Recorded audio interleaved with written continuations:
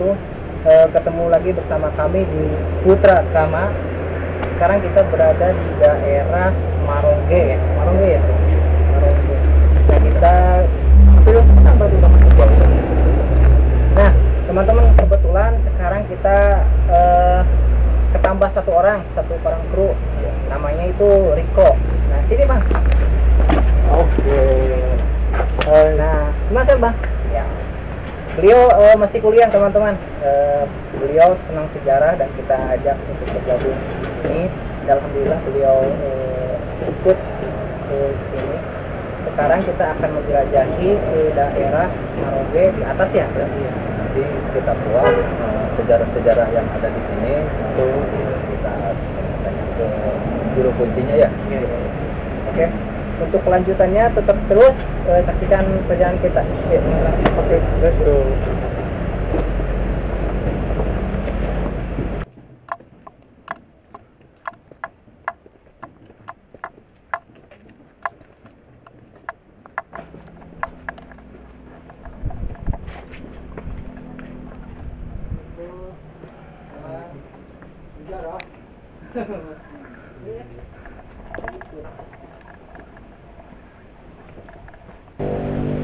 Assalamualaikum warahmatullahi wabarakatuh. Eh, kembali lagi teman-teman bersama kita di Putra Kama. Nah sekarang kita sudah ada di Marongge. Kita bersama dengan Bapak Anak. Kita mau ngobrol-ngobrol asal usul tentang Marongge sejarah itu ya seperti apa. Boleh. Eh, jadi mungkin yang pertama ada kaitan antara nama desa Marongge sama Karbun yang ada di sini ya. Begini, Marongge itu bukan nama orang. Banyak orang yang terutama orang-orang luar daerah yang tidak tahu Marongge itu dikira nama orang. Marongge padahal Marongge itu nama desa. Ini kampungnya kampung Marongge, desanya desa Marongge Kecamatan Tomo, Kabupaten Sumedang, Sumedang Timur lah gitu yang memang perbatasan lebih dekat dengan Kabupaten Majalengka. Jadi Marongge itu nama desa, nama kampung, nama desa bukan nama orang. Kalau karunnya yang ada di Marongge, yang orang biasa kita tahu itu satu Mbah Gabu, kedua Mbah Najwa, ketiga Mbah Najwa, empat Mbah itu istri semua. Yang kelima baru laki-laki Mbah Jadi, itu menurut ya kabar karena memang sudah tidak ada orang yang tahu persis eh, apa kapan eh, ada di sini terus segala macamnya itu memang sudah tidak ada orang yang tahu. Bahkan karena mungkin saya yakin bukan orang asli dari Marongge sehingga tidak ada orang Marongge yang berani siapa turunannya Nah, eh, menurut eh, ada cerita Karubun Marongge ini sebenarnya adalah orang dari Mataram. Zaman kerajaan ya zaman kerajaan Mataram saya saya meyakini bahwa beliau kalau tidak sekelas putri raja pasti dia tentara wanita. Benar nggak? Bisa kemungkinan karena wanitanya empat satunya ada putih dari China sebagai pengawalnya atau apanya lah gitu ya jadi besar kemungkinan antara tentara antara antara eh, putri raja atau tentara wanita yang yakin dia orang sakti dan orang suci. Nah, kaitan dengan nama Marongge, jadi kalau menurut cerita dulu ketika beliau eh, mau bilang kalau istilah mungkin kalau manusia eh, biasa zaman sekarang mau meninggal katanya. Di sini tahu di, daerah- di, di daerah sebelah mana kalau dulu mah ada kayak di sini kayak kayak ada sumur atau kalau orang Sunda bilang mah sumur sumur burung lah gitu ya di sebelah timur sana ada bekasnya kayak bekas sumur di ujungnya ada bambu dan kuning itu. Dan dulu di situ katanya dibikin semacam goa dulu tuh. Semacam goa. Nah eh, katanya bambu itu yang paling tua itu eh, apa mungkin kalau orang sakti zaman dulu mah sudah punya perkiraan misalkan ini mau mau meninggal lah ibarat kata gitu. Mau mau wafat mau apalah gitu. Cuman kalau cerita orang-orang dulu kan katanya kalau orang-orang sakti kayak Prabu Siliwangi itu kan tidak meninggal kayak jasad kita seperti itu tapi menghilang. Nah yang nah itu menghilang. Nah katanya sebelumnya tuh nitip ke saudara-saudaranya yang lainnya nanti istilah kata temurin saya mau uh, film uh, nanti mau masuk ke gua itu dan tolong nantinya dikasih uh, apa rang-rang awi reng ya reng namanya reng awi kurungan gitu. Bagian ciri khas ya Pak ya. Nah, jadi katanya setelah dia masuk ke situ sama saudara-saudaranya yang bilang itu kasih rengga-rengga awi Dan sampai sekarang rengga itu masih ada Pak. Ya, hanya katanya setelah dikasih rengga itu dari bawah buah itu ada cahaya yang lempur kata orang Sunda yang marong merong marong. Nah di situlah cahaya merong dari rengga barat kata orsi cokorno di sisi Cahaya merong di rengga awi merongge jadi marongge di situlah terjadi nama desa marongge yakin desa marongge tidak ada duanya silakan lihat peta dunia. Nggak ada nama desa marongge selain di sini. Sarongge ada. Nabrak banyak babakan apa tapi marongge silakan jamin tidak ada. Satu-satunya di dunia nama desa marongge nggak bakalan ketemu ya banyak yang lain. Berarti nama-nama buruk yang terdahulu itu meninggalnya juga bukan sini Pak. yang mana? Yang kayak dulu jago yang lain. ya justru di sini. Kalau makamnya kan ada. Jadi semua makam. Iya kalau ini kan makam umum. Nah kalau di dalam di tempat itu di tempat Tabasira itu ada makam umum dan tempat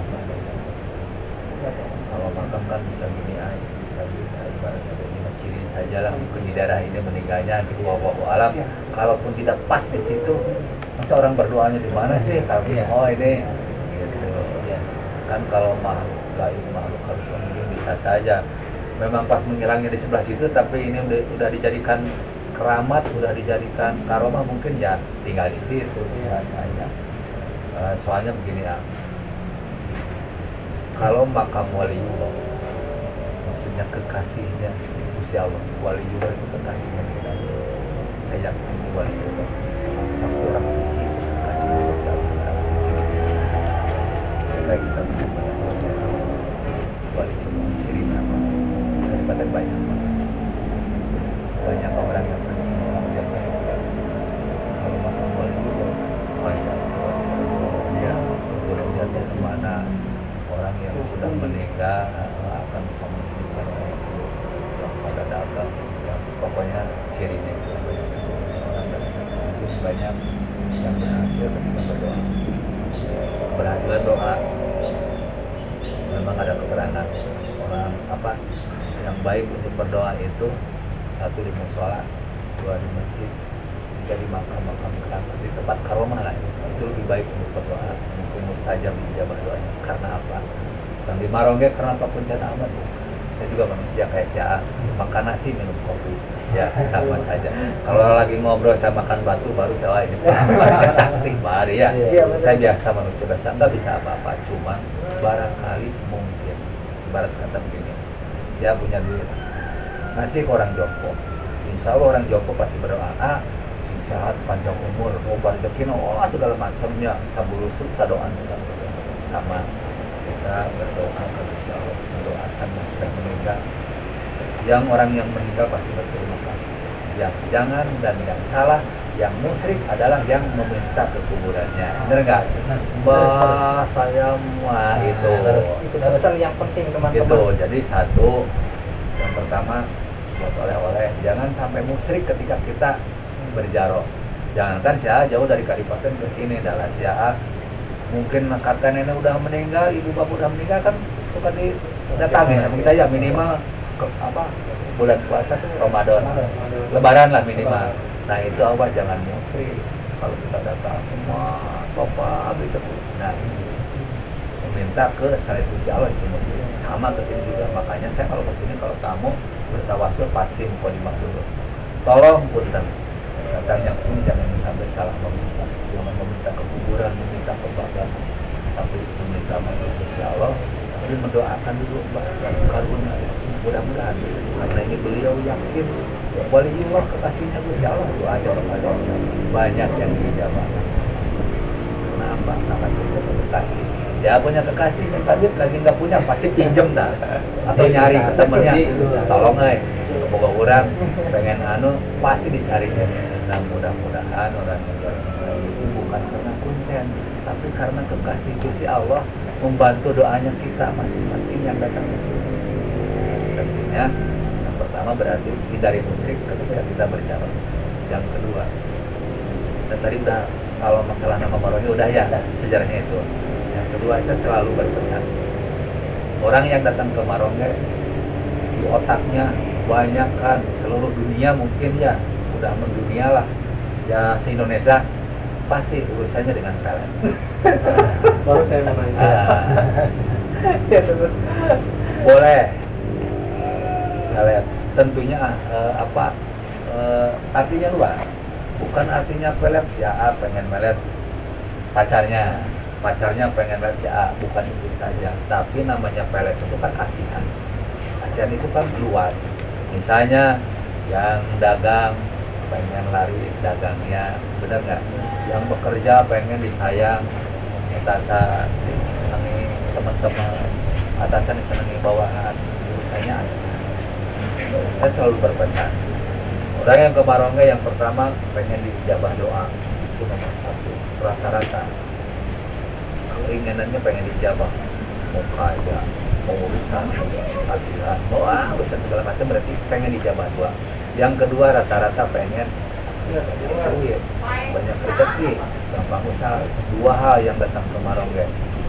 Tentunya penjabarannya luas. Yang pengen lancar usaha ya urusannya dengan rezeki kan gitu intinya satu pengen dijabah dua kedua pengen ketarik rezeki saya selalu berpesan. Yang pertama pengen dijabah dua. Ketika orang pengen dijabah dua awan penghalangnya jangan dilakukan. Apa penghalang untuk dijabah doa barang haram. Tergak nah, kenapa? Di Quran diterangkan ketika manusia ketika seseorang memakan barang haram satu suap maka 40 hari awas bukan 4 hari doanya terhalang.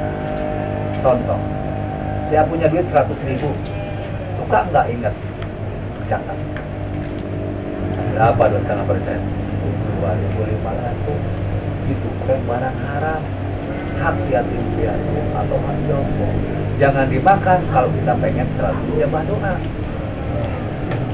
awas loh ini Ya. pesantren kilat kita jadi karena dikaitkan dengan hukum Islam di Quran Barang siapa yang makan barang haram satu suap maka 40 hari doanya terhalang. Siapa punya uang 100 ribu, mau dapat gaji usaha, mau dari bisnis, mau dikasih seseorang, kan enggak? Rezeki aja intinya mah. Berarti 2.500 kadipaten beli gorengan. Di sini mah masih dapat 5, 500-an. Anggap di kadipaten 3. Malam-malam ke kadipaten beli gorengan tuh ada tukang gorengan sebelah. Mereka kudo pakai aja 2000 tilu pala bolos sudah sekian. Wah dihitung sambil dimakan panas-panas. Ayat tuh 10 wab. Lebih kali 40 hari saudara. 400 hari setahun seberapa? 360. Nah, jangan ya Allah kenapa doa saya selalu nggak diijabah? Ya Allah saya teh wiridan sampai ngantuk-ngantuk saya teh puasa sampai lapar-lapar. Karena kita makan barang haram dari rezeki yang tidak dipotong. Zakatnya. Satu. Oleh-oleh berarti zakat. Yang kedua di Quran. Nawaitu sodakotan dakul balah wajah buris Quran nawaitu sodakotan ketika kita bersodakoh dakul balah tuh, menolak balai wajah buris naik rezeki kalau siapa pengen banyak rezeki gampang usaha awas ketika punya rezeki sodako Ya, nah itu sedekah tanda puluh bala baca berita kata Allah. Sodako adalah naik rezeki nolak bala. Oh, buah yang paling penting dalam kehidupan. Kalau zakat mau wajib karena barang haram, ya dimakan itu. Tapi kalau sodako mah silahkan sunnah mau berapa kek. Tapi kalau ibarat kata siap pengen ikan yang besar mau mancing, mau nyari umpannya di tong sampah, nggak mungkin. Belilah ke toko yang di Semaria kan? Beli esen beli rasa Iya. strawberry. Wah sekarang merasa apa? Biar pancingannya dapat banyak. Sama. Rezeki biar ke tarik derga balai biar ketolak. Tadi dapul bala wajah buri ke derga sodako untuk narik rezeki dan untuk awak nah jadi tapi dahulukan zakat. Karena zakat mah barang haram. Nah, dan wajib. Kalau sedekah sunnah. Ketika pengen diijabah doa. Apa ya? Banyak orang kaya yang kok katanya nggak bakal malah bakal berkah. Ya. Ada juga yang pelit cuma lagi uji sama Gusti Allah nah, jadi oleh-olehnya tadi satu asal usul nama Marongge dari itu. Yang kedua urusan ASEAN Trade Marongge itu. Saya tidak merasa bahwa saya orang yang paling bisa no, mereka makam keramat untuk para kita tidak. Karena orang yang didoakan diijabah Gusti Allah dibantu sama kamu di Marongge mungkin orangnya tidak terlalu banyak makan makan barang nah itu nah jadi zakat sama sedekah karena apa? Dihubungkan. Ketika kita akan sudah pasti mati. Enggak harta benda yang paling jauh. Contoh saya udah pu- punya pabrik kalau kebakaran berapa miliar? Habis dua jam ya. Karena yang paling jauh. Saya punya istri cantik anak misalkan kalau udah berumah tangga kalau masih pacaran pacar cantik bisa saja putusnya. Yang sudah berumah tangga bisa bercerai jauh lagi. Tapi yang udah paling dekat apa? Kematian agak banyak duit ke Singapura. Ben ke Anyer Ben apa? Ya oh seventeen tahu mau mati kalau mau mati nggak mungkin manggung ya. Jagur namanya kematian ada yang si Erok namanya orang sehat. Dia mau kan bulan puasa.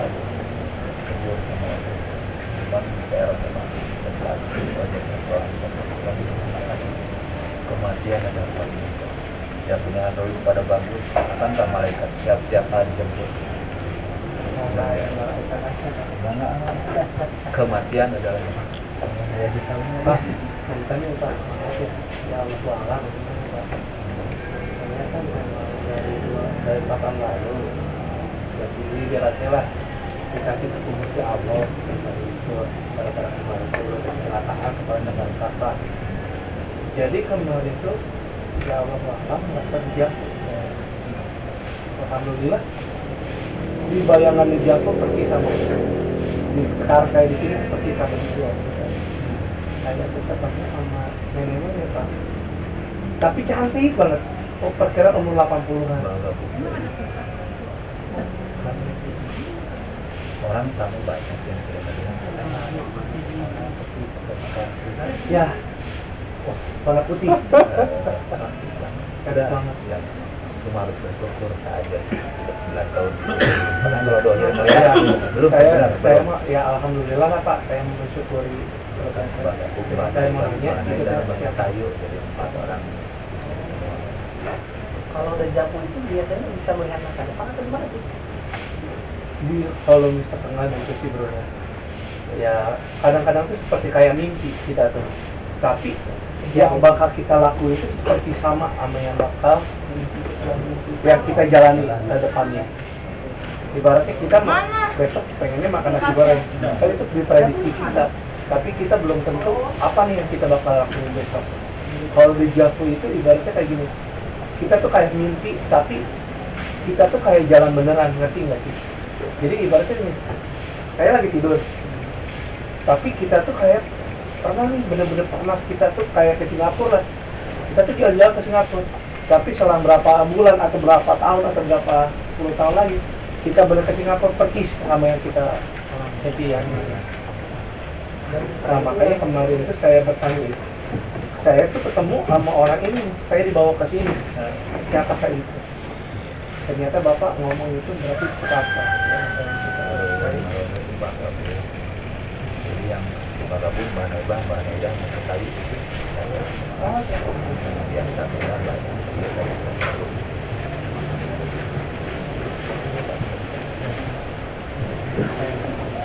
Boleh ke sana Eh, cuman tadi tolong buat oleh-olehnya. Yang pertama nama marogema itu. Yang kedua oleh-olehnya awas jangan biar selalu dijabah doa. Jangan biar selalu ketarik rezeki ketolak balai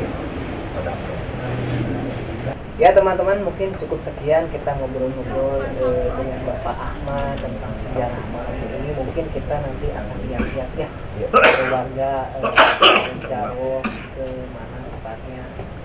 Ya, terus tetap saksikan di Buka Sama untuk channel berikutnya kita mungkin akan ke daerah mana ya Gua Jepang. Kan ke Gua Jepang ya? Itu ke Gua Jepang di daerah Sigasong bukan? Oh ya tiga song Oke. Tetap eh, ikuti perjalanan kami teman-teman di Putra Putra Kama Kama. sekarang kita mau lanjut ke makam Mbah Kebuyutan ya Oke. Nah, nanti kita tetap ikuti kita ya Tadi udah ngobrol-ngobrol sama eh, Ayah Ahmad. Eh, sekarang kita diberi izin untuk melihat eh, tempat eh, tempat apa sih biasa Makam- orang makam Mbak- ya, makam dan makam. sumur kebuyutan Oke. Saksikan terus teman-teman. Ayo.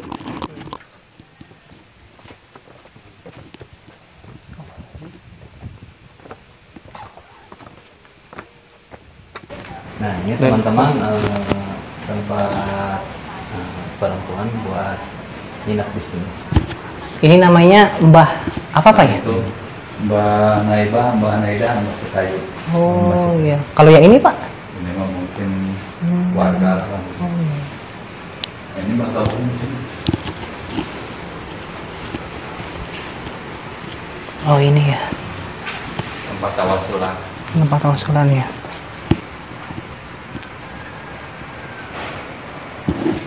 Nah berarti yang ketemu sama kamu kok itu siapa ya berarti ya?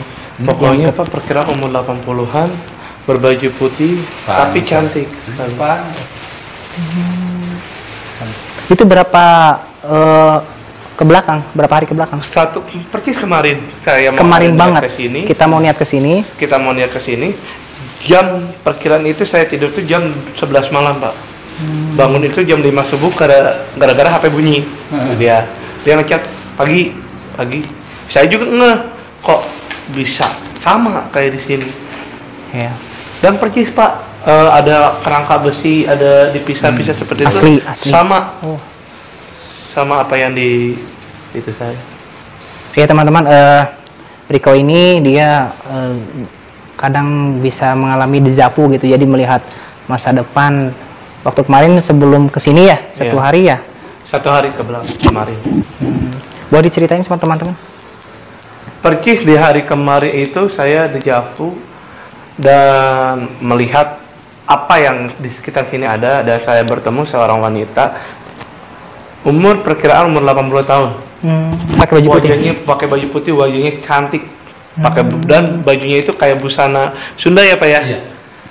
Kayak busana Sunda kayak kebaya gitu. Nah, Dan lu lihat lihat seperti ini ya? Lihat seperti seperti ini. Oke. Ya, men- boleh kita berdoa ya, Pak ya? Boleh. iya. Doa, percaya maksudnya.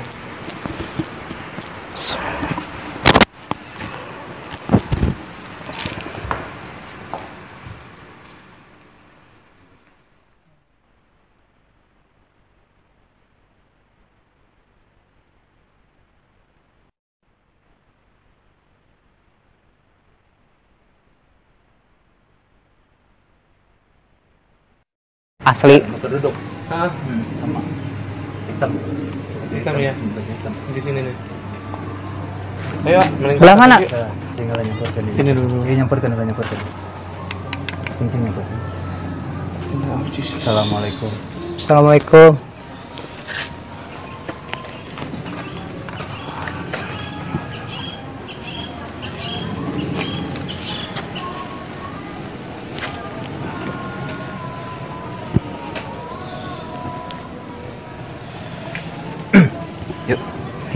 Ini apa sih? Ini apa sih, Kang? Ini batu kursi.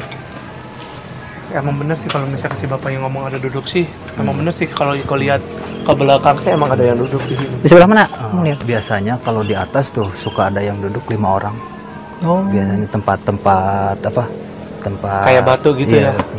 Duduk berduduk ada lima. Ada Ini teman-teman eh, tadi kata Ayah Ahmad ini dulunya tempat duduknya buyut-buyut di sini. Ini namanya batu apa? Kursi Batu ya? Kursi. iya. Batu Batu kursi. kursi. Coba mending kita naik ke atas aja ya. Oke. Ya, ayo. Yuk, yuk. Hmm.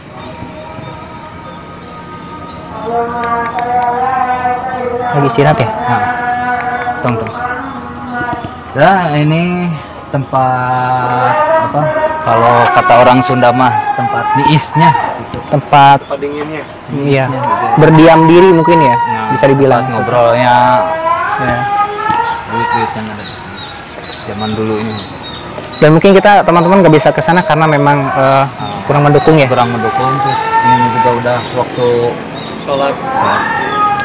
Mungkin perjalanan kita sampai di sini teman-teman karena kita eh, tanggal 27 ya kita di di- Kita akan ke sini lagi sini ya? diundang lagi ke Mungkin sini. minggu depan kita ke gua Jepang kali ya. Oke siap berarti.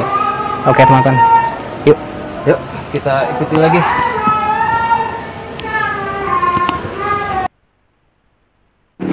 Nah, teman-teman, kalau di sini tempat tawasulan eh, laki-laki. Laki-laki lah. Nah, Oh kalau di sebelah sana kalau perempuan di ya. sebelah sananya perempuan. Coba eh, diambil gambarnya ya. Assalamualaikum.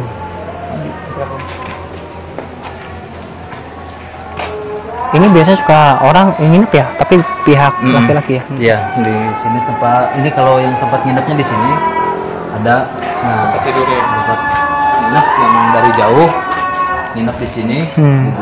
Kalau yang tadi mah tempat tawasulnya. Tempat tawasulnya yang di sini. Berarti kalau di sini itu ramainya kalau tiap malam Jumat Kliwon ya. Malam Jumat Kliwon hampir 400 lebih. 400 orang lebih. Iya. Iya. 400 orang lebih di sini. Tapi en- emang enak sih kalau yang gua rasain sih aura emang di sini enak ya. Hmm, iya, Adem. adem. Jadi kadang-kadang kan kalau kita ke kuburan lain mungkin rasa takut kita, ya, kita yang terpacu. Hmm. Jadi kayak ibaratnya tuh kalau kita takut itu si makhluk astral jauh lebih menekan kita.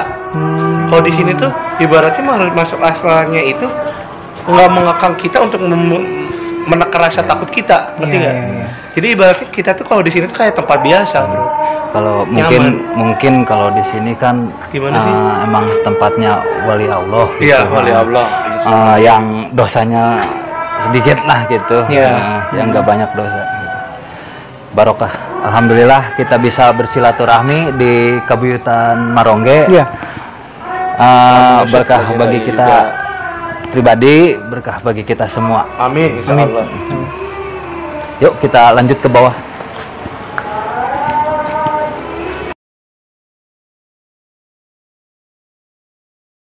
Mungkin sampai ke sini dulu ya perjalanan Iya. kita di Marongge ini. Eh, mungkin kita part kedua tanggal 27-an kita akan balik lagi ke sini kalau kita lihat karena kata ayah Ahmad ini setiap malam Jumat Kliwon itu banyak warga yang ziarah Kita hampir tempat 500 ini, orang hampir ya. 500 orang untuk ke minggu depannya mungkin kita akan ke Gua Jepang dulu nah mungkin untuk perjalanan kali ini kita sampai di sini ya Sampai di sini dulu. nah teman-teman jangan lupa untuk eh, Like per- perkembangannya video kita jangan lupa eh, klik tombol subscribe like Dan share. oke tetap Di Putra Kama.